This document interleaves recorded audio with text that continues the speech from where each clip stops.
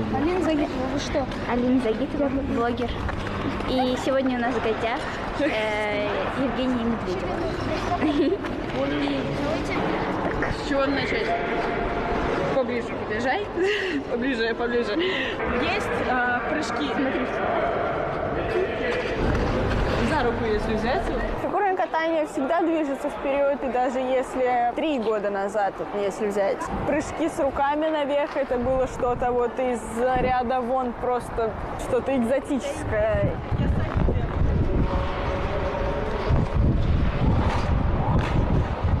Если сейчас посмотреть, то девочки, которые э, выступают сейчас на юниорском уровне, уже спокойно все эти элементы выполняют, и порой даже этим никого уже не удивишь. Да хватит имитировать, давай уже делай. Я не хотела бы отставать от нового поколения, и э, я тоже буду совершенствоваться. Мне 17 лет, а я уже говорю подрастающее поколение. Мне кажется, это, это ужасно.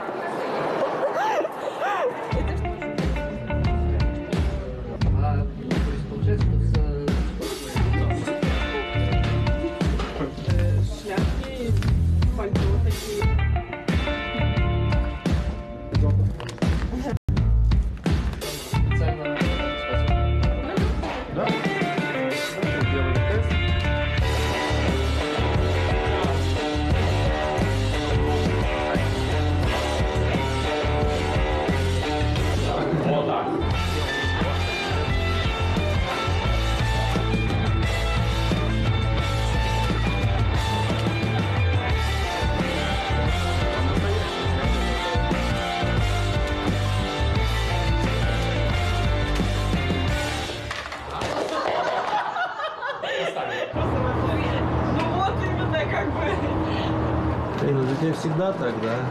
Что? Ну, зеленка везде. Ну, это просто новые коньки. Не нужно снимать цифры. Да не снимай, я цифры не видно. Ну, кстати, нормально. Даже в одежде что Смотреть. я, Нет. я загораживаю. Загитова, ты чё? Я на 500 похудела. Многие говорят, то, что, ну, типа, что тебе можно и пирожные там есть, и вообще все что угодно хочешь есть, ты все равно и так худая. Но тут м, как бы связь другая, это как бы мы худые, потому что мы себя держим. Вообще в нашем спорте играет роль, наверное, даже там 200-300 грамм, потому что мы прыгаем и выражаясь умными словами, аэродинамику прыжка нарушать, это даже не очень хорошо. То есть сильно в минус плохо, и большой плюс тоже плохо.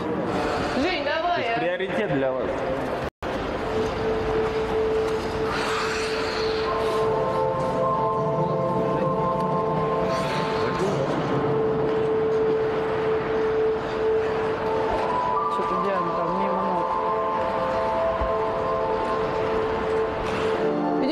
Включайся.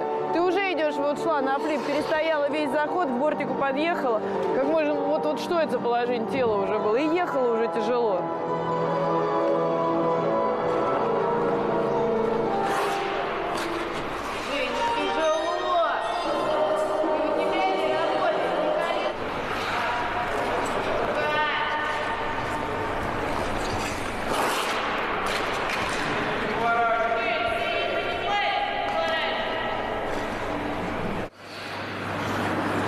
Жень, знаешь, почему сложно быть спортсменкой, которая будет от э, старта к старту показывать очень хорошие результаты? Знаю. Почему? Потому что нужно постоянно работать. Надо постоянно работать. Так, так хочется заслуженно отдохнуть. но Не как только- хочется. как Мне только не ты хочется. начинаешь заслуженно отдыхать, ты не делаешь ничего. И это не потому, что ты не делаешь ничего. Никто не делает ничего. Ты себя просто перевернула. Не было прыжка, долго садилась, на правой ноге не было ничего.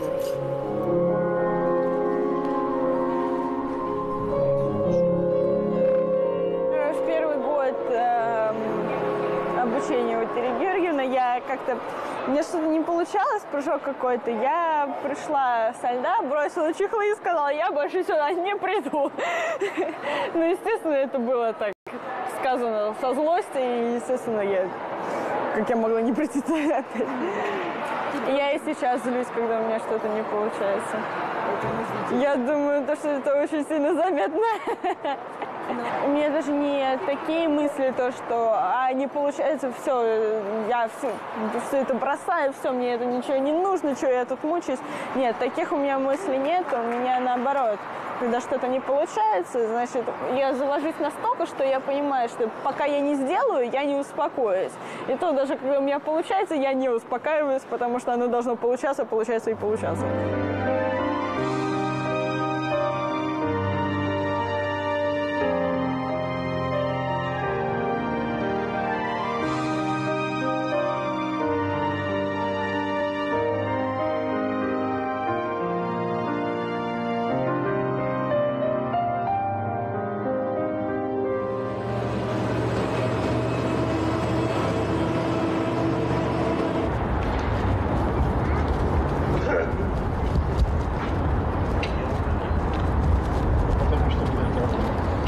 Джерри, Джерри, кто там?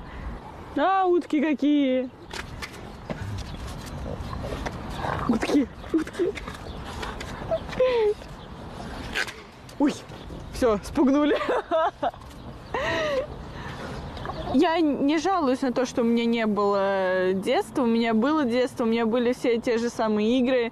Салочки, догонялки, прятки, вышибалы. Только все это было в спортивном зале, а не на детской площадке. Джерри, что ж у тебя так слюни-то текут, ну? Джерри. Свободное время свое я провожу довольно-таки спокойно. Я не люблю шумной компании, я не очень люблю большое скопление людей, поскольку это все-таки высасывает энергию. Для меня лучше всего завернуться в одеяло и сидеть смотреть фильмы. И меня абсолютно все устраивает, я восстанавливаюсь и получаю удовольствие. Ну, у меня только по понедельникам один выходной недели. И обычно я хожу в школу. Больше половины дня я провожу в школе, то есть это с 10 до 5. Все дела нужно помещать в выходной. Поэтому э, прям совсем свободного времени. То есть абсолютно, чтобы я могла делать все, что я хочу, у меня не так много. Я уверена, то, что у мамы нету такого ощущения, то, что зачем я ее отдала в фигурное катание. Катание я не жалею, разве? Нет, естественно. Иногда сожалею насчет графика сопутствующих мероприятий. Ну, я сама занималась и ее отдала заниматься. Но занималась я с 4 лет до 14 была травма и закончила, многие фигуристы заканчивают.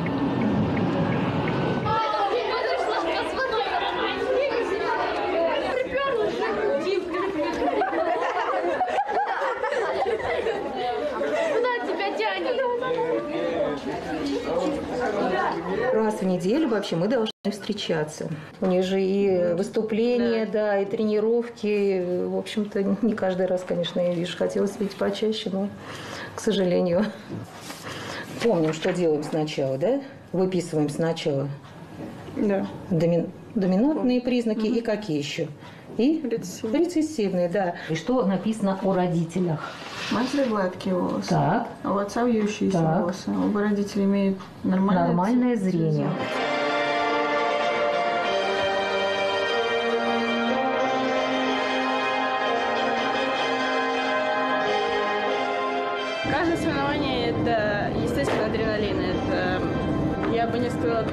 прям полный захлест эмоций, которые затмевают разум. Но волнение присутствует всегда, и порой даже на прокатах на тренировке это нормально, это спорт. Наоборот, это чувство как-то добавляет изюма. И э, без волнения, наверное, соревнования были бы не такими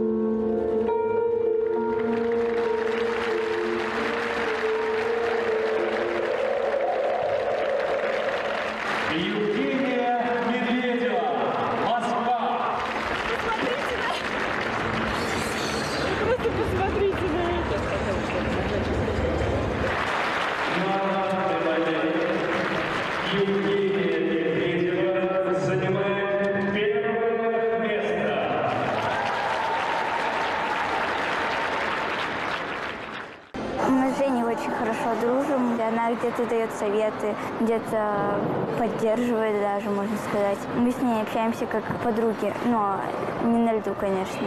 На льду уже сама за себя. Я очень э, подросла морально. У меня появился какой-то соревновательный опыт. То есть, если я выходила раньше на первенстве, у меня просто не было. Здесь было очень много народу, и это для меня просто шок. И у меня ноги вот так вот тряслись, я не, не, не знала, что я сделаю. Я сама себя не ожидала.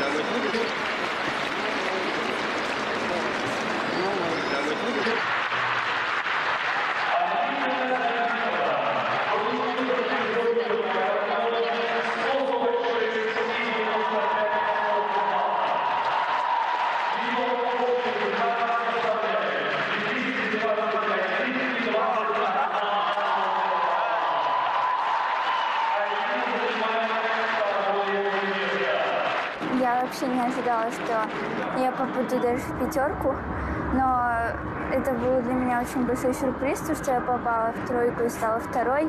Просто эмоции зашкаливали, когда я э, хорошо откатала, но я это не очень хорошо показывала, но у меня было все в душе, все творилось в душе.